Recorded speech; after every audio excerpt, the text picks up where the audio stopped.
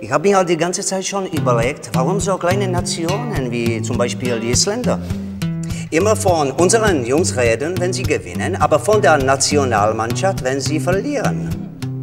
Napoleon-Syndrom? Das bezieht sich jetzt natürlich nur auf Handball. Und dann gibt es halt die Leute, die zu ihrer Mannschaft stehen. Egal, woher der Wind auch weht. Við styðjum landsliðið í blíðu og stríðu. Æsland er.